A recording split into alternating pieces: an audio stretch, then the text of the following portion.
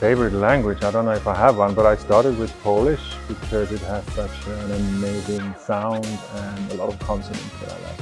Oh, tosi hyvä kysymys. Um, mun lempikieli on ehkä uh, hollanti sen takia, että se on, uh, se on mun toinen äidinkieli. Mun isä on hollantilainen ja siihen, siihen liittyy tosi paljon muistoja ja tunteita niin kuin lapsuudesta saakka, niin ehkä sen takia hollanti. La mia lingua preferita penso che sia il greco, per come suona.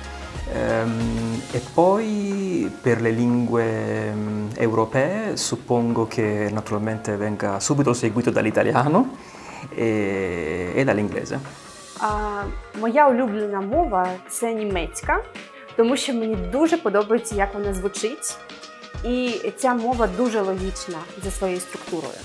Ma langue euh, affective, c'est l'allemand. Ça, ça, on le voit par exemple quand, il y a des animaux, euh, quand il y a un chat qui vient et que, et que je le caresse, là j'ai tendance à lui parler en allemand. Même si ma langue de travail c'est le français, euh, il y a l'allemand qui ressurgit comme ça.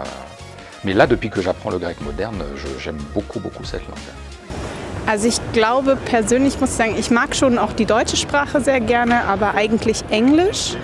Ich habe auch Englisch studiert. Ähm, ich fand es einfach immer super, eine super schöne Sprache, die eben auch sehr poetisch sein kann, ähm, die viele, die natürlich auch sehr große Reichweite hat, weil einfach sehr viele Menschen Englisch sprechen und dadurch hat die einfach sehr viele Vorzüge und sie gefällt mir einfach sehr.